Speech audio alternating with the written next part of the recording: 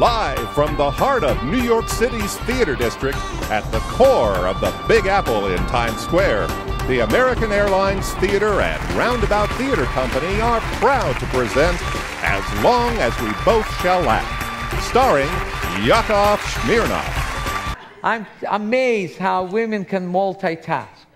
I mean, it, it, my wife could be on the phone uh, closing a deal at the office. At the same time, uh, she would be putting on mascara, making a cake, watching TV, while she was giving birth. I needed an epidural just to watch her give birth.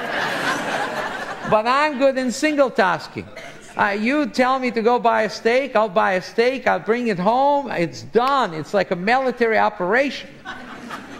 She would go to buy a steak, she'll buy a steak and bring home some other meat related product like leather couch.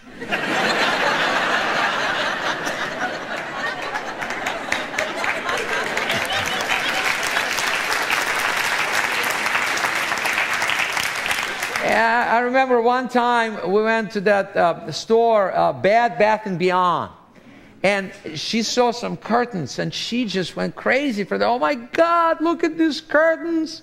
They would look so much better in our bathroom than the ones that we now have. What do you think?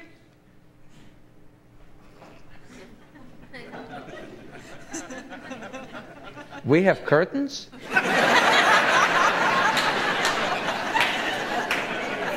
I, I don't know this kind of stuff. For me, a bathroom is just a library with a cold seat. That's why I think they call those places Bed Bath and Beyond because how a woman can spend so much money on bed and bath is beyond any man.